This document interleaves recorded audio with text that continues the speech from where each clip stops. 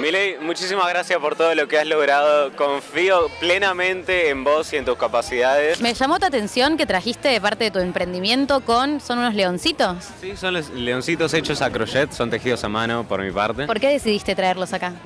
Nada, vengo acá porque soy gran apoyador de Milei. Eh, fue por quien me metí en la política a partir del año pasado. Y nada, empecé a hacerlos como para poder llevar algo a los eventos y poder aportar algo como un recuerdo a lo que todo, fue todo esto. ¿Y cómo se te ocurrió empezar a hacer leones?